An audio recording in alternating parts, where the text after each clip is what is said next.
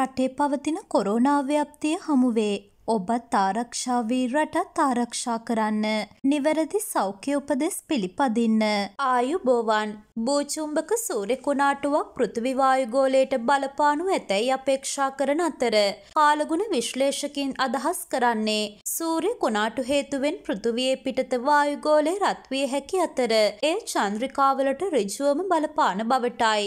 spaceweather.com web අඩවිය සඳහන් කරන ආකාරයට කුණාටුව කිලෝමීටර් මිලියන එකයි දශම හයක වේගයෙන් පෘථිවියට ළඟා වේ. එය සූර්යාගේ වායුගෝලයෙන් ආරම්භ වී ඇති අතර පෘථිවි චුම්බක ක්ෂේත්‍රයේ ඇති අභ්‍යවකාශ කලාපයට දැඩි බලපෑමක් ඇති කරවනු ඇති බවට එම වෙබ් අඩවිය සඳහන් කරයි. මෙමගින් GPS navigation, mobile phone signal, satellite TV වලට බාධා ඇතිවිය හැකි අතර විදුලි රැහැන්වල ධාරාවද ඉහළ යාමේ හැකියාවක් ඇති බව ජාත්‍යන්තර මාධ්‍ය වාර්තා කරයි. මේ සෝලාස්ට්‍රෝම් මේ වසරේ මැයි මාසයේදී රත් වූ ගෑස්ටෝන් මිලියන ගණනක් සූර්යාගේ මතුපිටින් නිවත් වී සතපු මිලියන අනුවක් පෘථිවිය දෙසට ගමන් කළේය.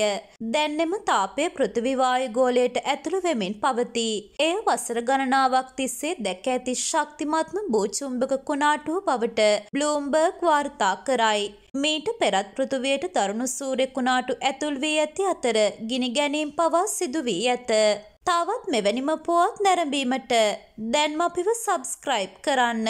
අපි අලුතින්ම අප්ලෝඩ් කරන වීඩියෝස් ගැන කලින්ම දැනගන්න බෙල් අයිකන් එකත් ක්ලික් කරන්න.